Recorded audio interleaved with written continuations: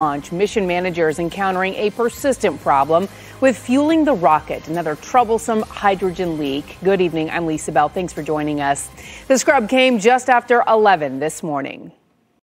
Again, uh, launch director Charlie Blackwell Thompson calling a scrub for the day here at the Kennedy Space Center Launch Complex 39B. The team now going into the cutoff procedure after uh, being unable to resolve a hydrogen leak. Liquid hydrogen leaks have plagued the Artemis missions going back to the practice countdowns, but today's leak was one they had not seen before. News 6 anchor and space expert Erik von Ancken begins our team coverage tonight from the Kennedy Space Center. He has been there since early this morning when the launch team first started tanking.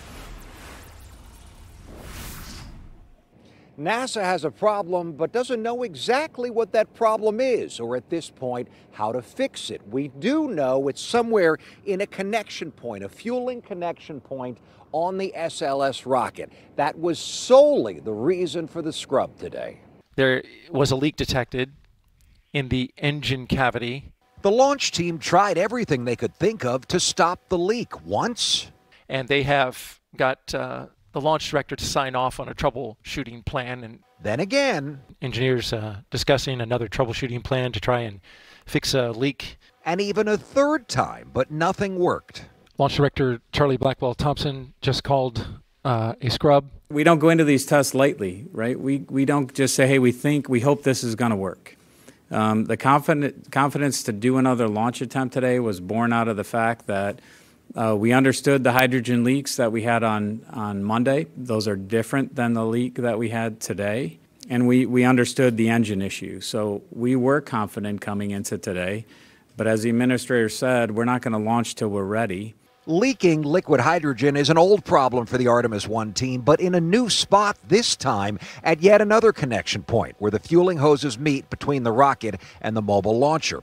On Monday morning, during the first launch attempt, a similar hydrogen leak delayed that countdown, but it was at a different disconnect. The launch team was able to solve it by trying the same troubleshooting steps they tried Saturday morning. This time, though, it didn't work. When we're ready to go back out there, we'll go back out there and try for another uh, launch. Mission managers say what they need now more than anything is time to figure out what to do and where to do it. Can they start on the fix here at the pad, or do they have to roll the rocket back to the vehicle assembly building off to my right? They say Monday or Tuesday, we should know more. One certainty, though, at this point, in order to recertify their flight termination system, that's the ability to destroy the rocket in case it veers off course they have to do that inside the VAB, and that expires, that certification expires in the next few days. For now, at the Kennedy Space Center, Erik von Ancken getting results. News 6.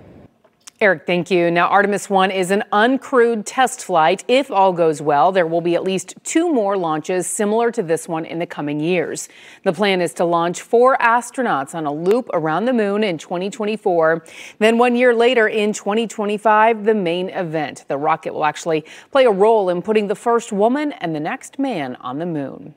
Officials in Brevard County were expecting 400,000 people on the Space Coast this weekend, many hoping to watch history, left disappointed for the second scrub in a row. News 6's Molly Reed was there. Another disappointing day here on the Space Coast with thousands of people now going home without seeing a launch. Thousands were packing into parks like Space View here, some camping overnight, others here getting at the break of dawn to try to get the best viewing spot. We did a good time. You know, it's been busy, but I'm very disappointed, but hopefully I'll see it someday. Sisters Mary Holland and Phoebe Hale drove down from the Carolinas hoping to witness history today. It was part of my bucket list I called my sister and said, You get to South Carolina, we going to see a launch. And like many who traveled great miles to be here, they were left with just a view of the parked Artemis rocket 10 miles east of the river today. Tying a Saturday launch in with a holiday weekend, over 400,000 people are expected to be here for take two of an Artemis launch attempt. We wanted to hear it, see it, and feel it. Many were sitting on the edge of their seats as news of problems at the launch pad broke out before the disappointing scrub announcement came just a couple hours later. Safer than sorry is what I I'd say, as much money as they got involved with it. but it does disappoint us. I mean, a lot of folks are disappointed. They make a long drive to get here, and oh well. While some made a mad dash to the car to try and beat traffic, others stuck around, soaking in the view for just a while longer. We drove all this way. We like to see something.